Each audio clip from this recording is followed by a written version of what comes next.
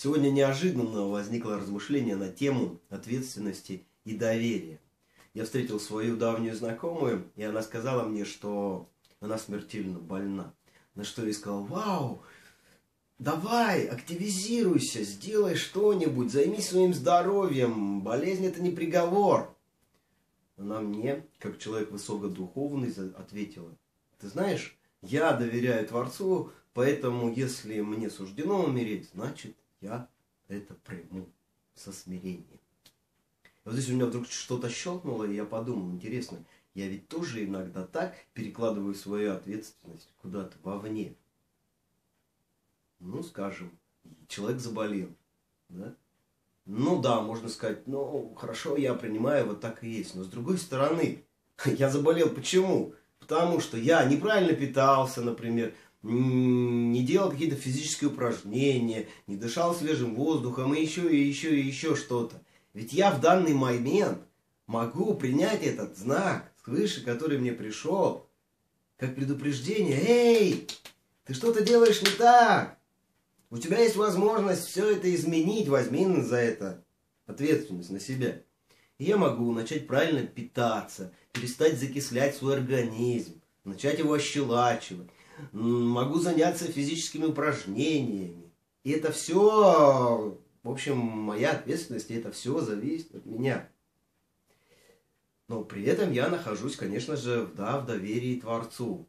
Вот здесь вот важно, да, получается очень тонкая какая-то грань между доверием и ответственностью. Если я заваливаюсь в доверие, то я такой вот лег, встал, сел и такой говорю, вот, ну, вот будь что будет, вот, вот, вот оно происходит. А здесь важно, да, ситуацию увидеть.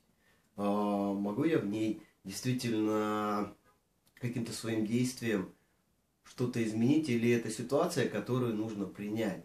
Да? Принять и ответственность.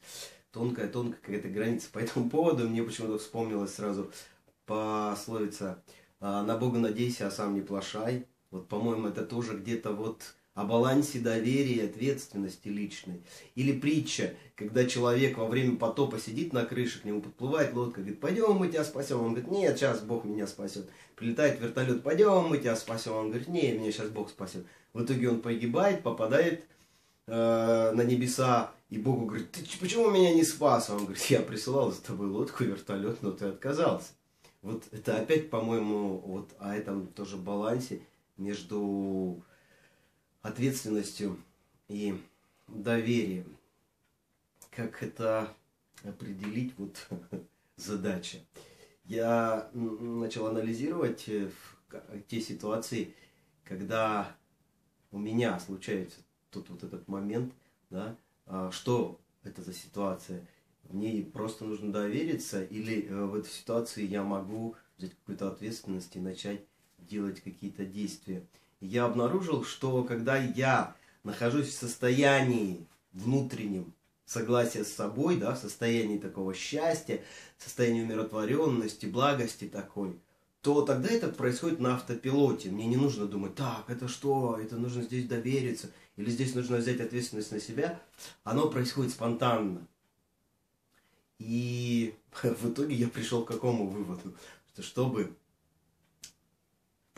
не, не, ну, ну, в общем, не нужно задачиваться, что мне делать в данной ситуации, доверять или быть ответственным, а лучше делать, а активизировать в себе постоянно вот это состояние согласия с собой.